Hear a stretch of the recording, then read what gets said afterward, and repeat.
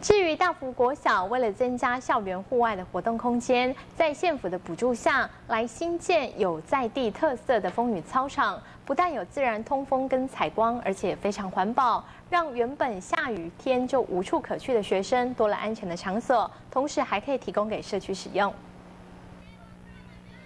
因为宜兰多雨的气候，让爱好活动的学生只要一下雨，只能待在教室或者在走廊上嬉戏。但是现在有了这座风雨操场。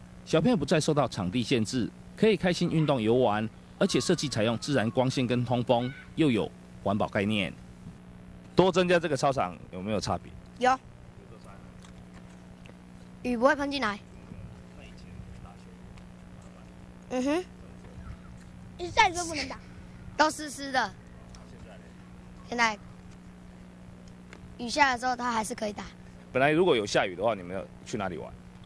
有，那个在教室后窗堂。现在下雨了，也可以来。对，可以可以来玩。很好。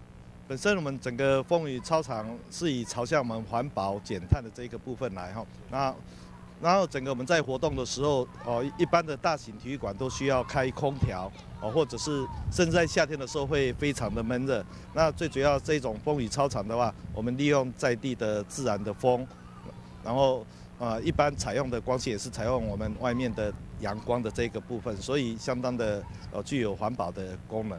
为了营造在地环境风貌，所以这座风雨操场以水鸟跟海浪为外观，加深学生对家乡的认同感。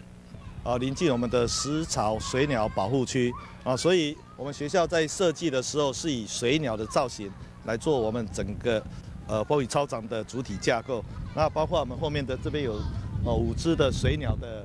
的那个鸟的造型，然后在上面的屋檐的部分啊，也是以水鸟的翅膀及在地我们临近海边以海浪波浪的这个造型来做哦屋顶的设计。